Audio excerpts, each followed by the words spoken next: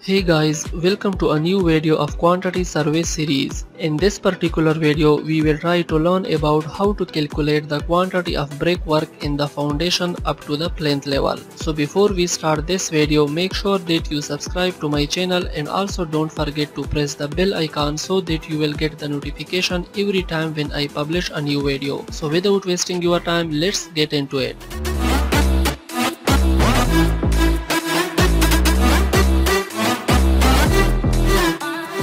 Okay, so to start this video, first here in the serial number type 3, then in the description type brickwork and foundation and plinth.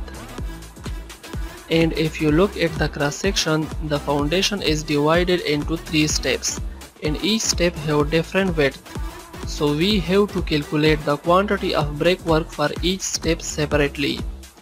Right, okay, so just below brickwork and foundation and plinth type step 1 and in number type 1 next we have to find out the length of the first step. So for that we will apply the same formula as we applied for calculating the total length of the excavation in the remarks column. Is the total length of the center line is 146.5 feet. So the formula will be like total length of the center line minus number of joints into half of the width of the footing. So is the total length of the center line is 146.5 feet. So here type 146.5.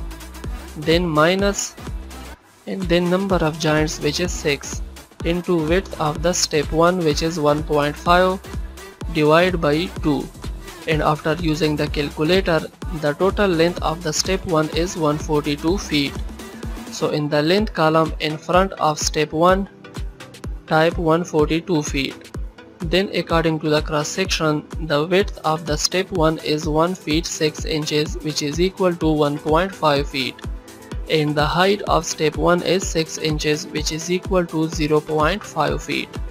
So here in the excel sheet I will type in the width column 1.5 and in the height column I will type 0.5 now to find out its total quantity either I will multiply all these terms or I will just simply drag this down and we will get the total quantity of brickwork in step 1 which is equal to 106.5 CFT.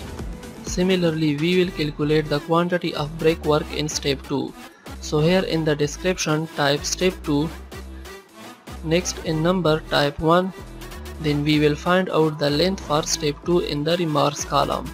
So here type total length of the center line which is 146.5 then as per the cross section the width of step 2 is 1 feet 1.5 inches which is equal to 1.125 feet.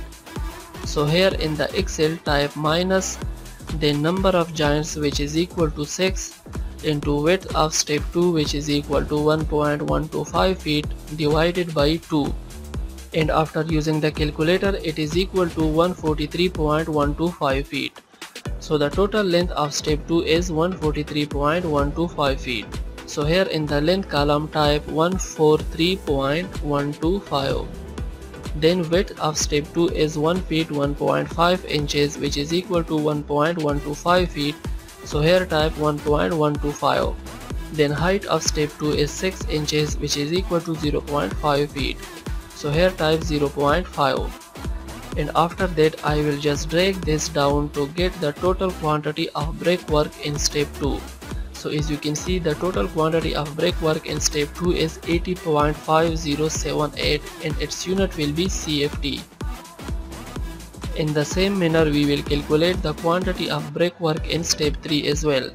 So here in the description type step 3 then in numbers type 1 and after that go to the remarks column.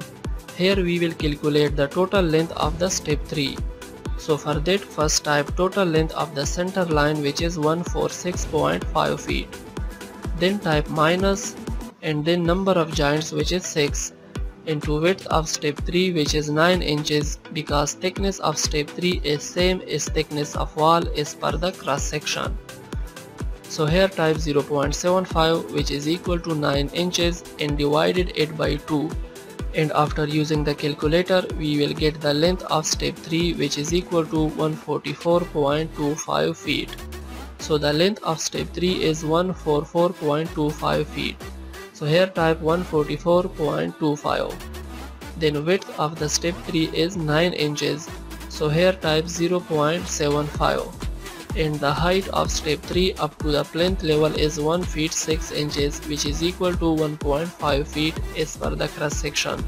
So here type 1.5 and after that I will just simply drag this down to get the quantity of brickwork in step 3 so as you can see the total quantity of brickwork in step 3 is 162.2812 and the unit will be CFT now to get the total quantity of brickwork used in the foundation or substructure, I will type here total. Then I will add the quantities of each step of brickwork in foundation. So the total quantity of brickwork in foundation is 349.289 CFT. So this is how you can calculate the quantity of brickwork in foundation up to the plinth level using the center line method. So here I will end this video.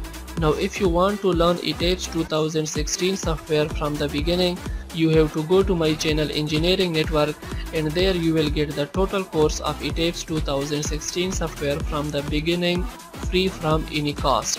Thank you for watching this video. If you like it then click on the like button and if you don't then press the dislike button. Share it with your friends and make sure to subscribe to my channel and don't forget to press the bell icon to get notified on time when I publish a new video.